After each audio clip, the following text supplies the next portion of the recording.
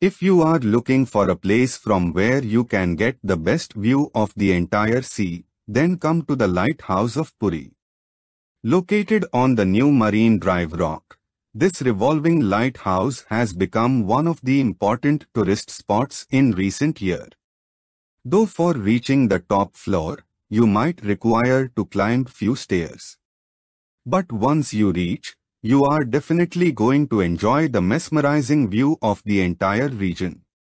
From a tourist point of view, it is one of the best places to view sunset in Puri. People who cannot climb stairs should avoid this lighthouse. The lighthouse is situated about 8 kilometers west of railway station. It is a 25 meters high circular tower with black and white bands, 30 meters height.